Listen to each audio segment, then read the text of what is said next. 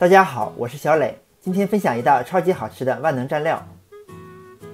首先准备适量的花生米，锅中无油无水，倒入花生米，开小火炒香。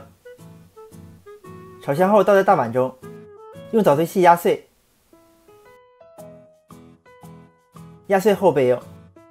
准备一把香菜、两根小米辣和适量的葱蒜，将香菜切末，小米辣切圈儿，蒜切末，小葱切成葱花。切完将小米辣和葱蒜末倒在碗中，再加一勺白芝麻，一勺辣椒片，一勺辣椒粉，然后倒入适量的热油。用筷子搅拌均匀，搅匀后加入三勺生抽，